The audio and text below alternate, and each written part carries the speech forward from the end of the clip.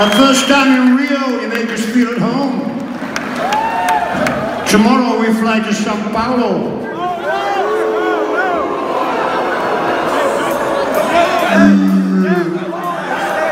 I know. It's a football thing, right? Yeah.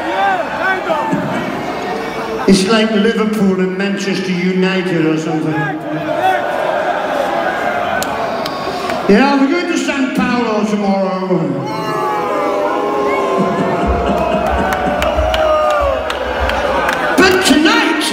We're in Rio de Janeiro! This one's called Princess of the Night. Thank you.